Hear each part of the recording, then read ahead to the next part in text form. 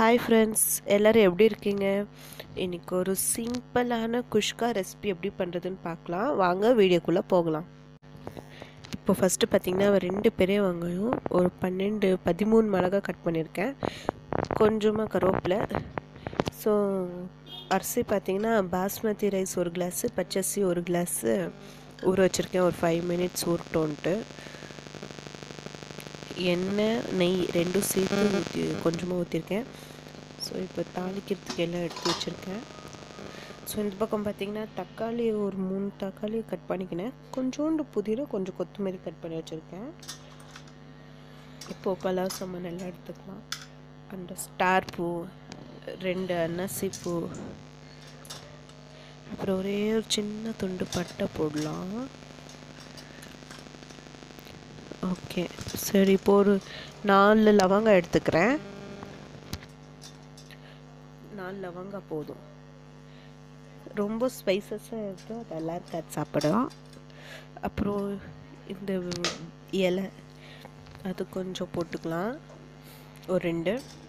அப்புறம் சோம்பு கொஞ்சோண்டு போடுங்க போதும். ரொம்பலாம் போடணுன்ற அவசியமே இல்லை. அப்புறம் ஒரே ஒரு ஏலக்காய்.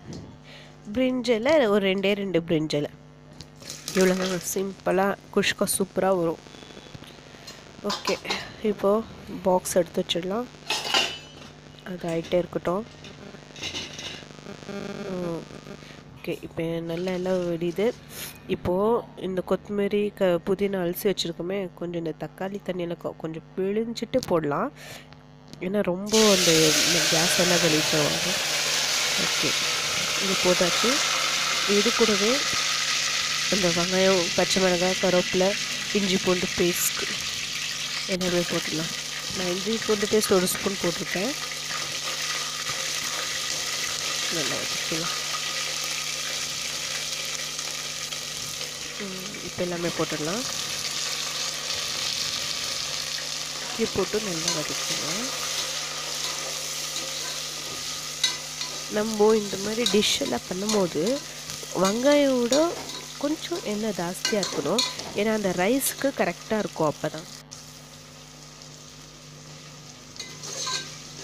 பாருங்கள் நல்லா இந்த வெங்காயம் எல்லாம் செப்பரேட் செப்பரேட் ஆயிடுச்சு.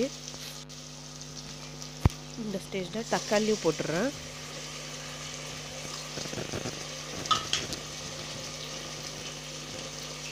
தக்காளியும் போட்டு நல்லா வதக்கலாம்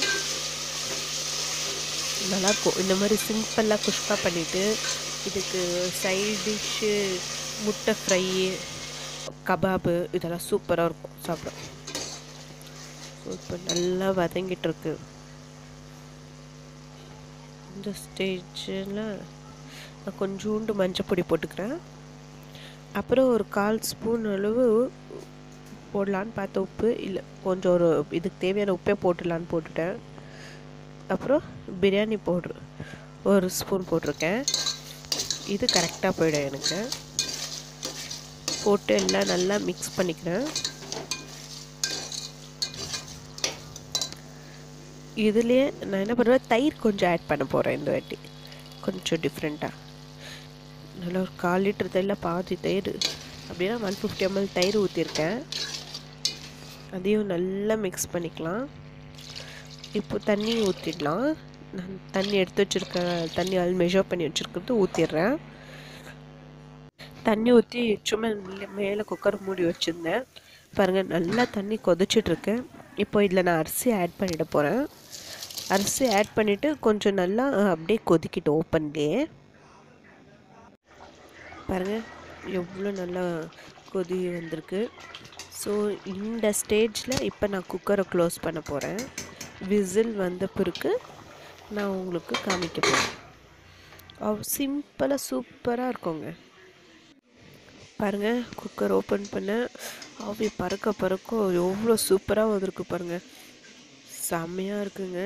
நீங்களும் கண்டிப்பாக ட்ரை பண்ணுங்கள் நம்ம சேனல் சப்ஸ்கிரைப் பண்ணுங்கள் இன்னும் நல்ல வீடியோஸோடு உங்களை வந்து நான் பார்க்குறேன். இதோட இந்த ரெசிபியோட நான் என் பண்ணிக்கிறேன். பாய்